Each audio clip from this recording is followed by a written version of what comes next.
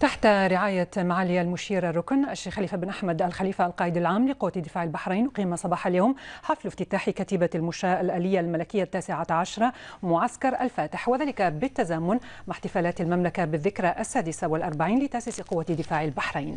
فلدى وصول معالي القائد العام لقوة دفاع البحرين إلى معسكر الفاتح كان في الاستقبال معالي الفريق طبيب الشيخ محمد بن عبد الله آل خليفة. وزير الدولة لشؤون الدفاع ومعالي الفريق الركن الشيخ دعيج بن سلمان آل خليفة رئيس هيئة الأركان وقائد كتيبة المشاة الآلية الملكية التاسع عشرة وعدد من كبار ضباط قوة دفاع البحرين وعدد من وجهاء المنطقة.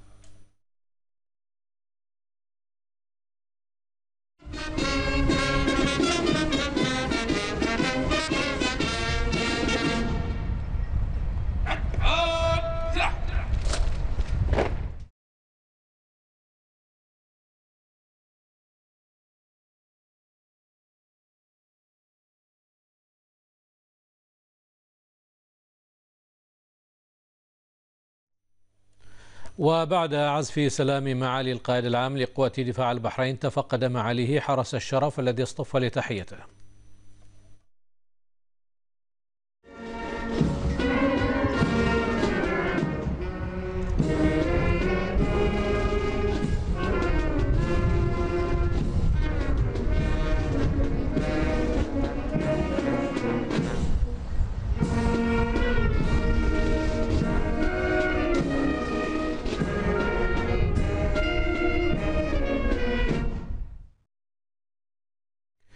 واستهل الاحتفال بتلاوة آيات بينات من الذكر الحكيم بعدها ألقى قائد كتيبة المشاة الآلية الملكية التاسع عشر كلمة بهذه المناسبة.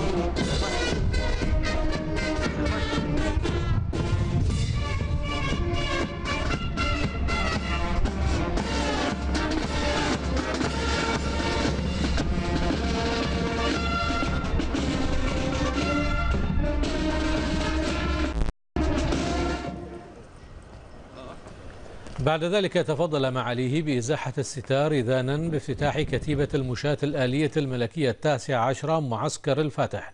بعدها تم رفع راية الكتيبة كما شاهد معاليه فيلما قصيرا عن مراحل بنائها.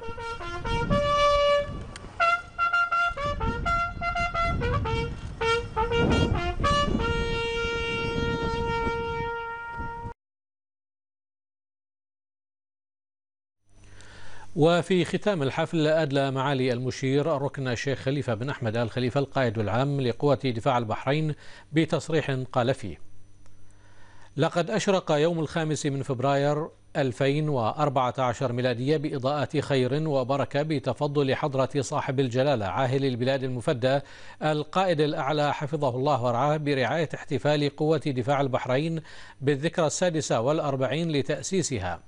حيث تكرم جلالته بتدشين عدد من القطع البحرية الحديثة وتسليم الرايات للوحدات الجديدة التي تم تشكيلها حديثا. ومن ضمنها كتيبة المشاة الآلية الملكية التاسعة عشرة التي بعون الله تعالى نحتفل اليوم بافتتاح معسكرها الجديد الذي يعد إنجازا كبيرا ولبنة متينة من لبنات القوة والمنعة في صرح قوة دفاع البحرين.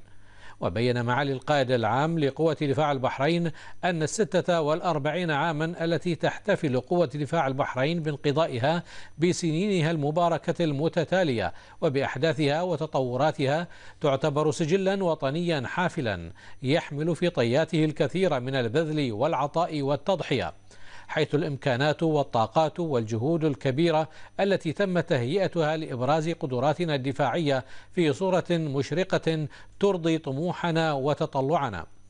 وأكد معالي القائد العام لقوة دفاع البحرين أن قوة الدفاع كانت ولا تزال على قدر المسؤولية الملقاة على عاتقها على المسارين الوطني والأخوي الخليجي ضمن مجلس التعاون لدول الخليج العربية. وهذه القوة الأبية قد شقت طريقا تفاعليا راسخا بين المقتضيات الدفاعية ومتطلبات التسليح والتدريب وسلكت مسارا تكامليا سواء على صعيد تحديث السلاح وتطوير المنظومات العسكرية وتهيئة المنشآت أو على صعيد تنمية القوى البشرية القتالية والإدارية. الأمر الذي مكنها من تبوء الموقع المنشود منها كقوة وطنية